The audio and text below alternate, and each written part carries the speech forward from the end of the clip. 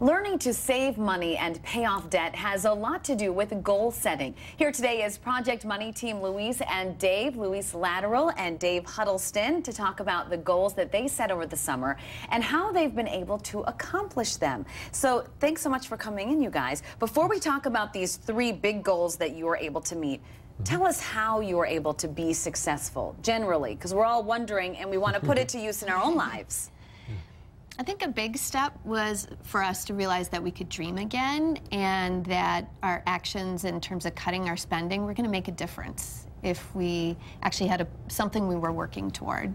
A budget lets you compare sort of um, your day-to-day expenses to like the, the, the things that you really are dreaming of and stretching for.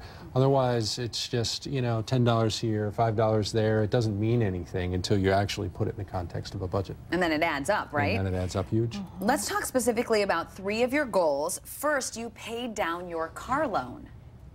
Yeah, that was that was a big deal. Um, we by saving a lot uh, and and cutting it down to the essentials uh, for all of our spending. Uh, over the past five months, we cut our car loan in half down to seventy three hundred dollars. Wow, good for you! And that was all by budgeting and then moving, yeah. being able to move money around and put more on that payment. Yeah, exactly. Wow. Okay. You started 529 education accounts for your kids. Yeah. This was huge, and it took so little time. And so, of course, we look back and wish we'd done it when our kids were babies.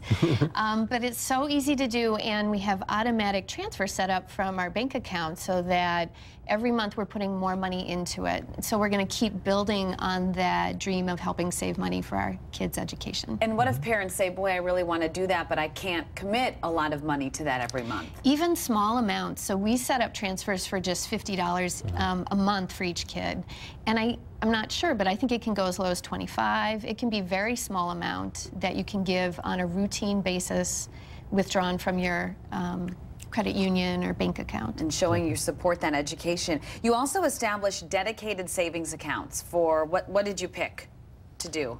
Well, the emergency funds was a big one, okay. and and uh, the school tuition for our kids, and um, but also some some of those incidental things that you never plan for, like appliances falling over, clothing, clothing, vacations, yeah. gifts, insurance payments, gifts pretty much everything. Yeah. It, um, everything that um, not like a pay your gas bill Sure. Know, every month kind of thing. And then you can take that money out. You've got it designated so you're not going over your budget. Mm -hmm. Very good. Thank you guys so much. We appreciate it. Congrats on hitting three big goals in the last couple of months. And if you would like to follow the Project Money teams as they compete for $10,000 or learn more about savings and investment options at Summit Credit Union, you can go to NBC15.com and click on News Links. We'll be right back.